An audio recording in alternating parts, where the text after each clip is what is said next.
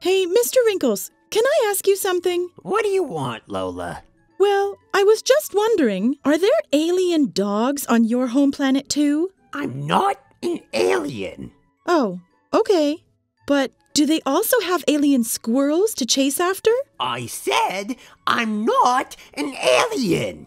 I've told you a hundred times already. I am a Sphynx cat, as in a cat breed that is naturally bald. I'm literally just a hairless cat, not an alien.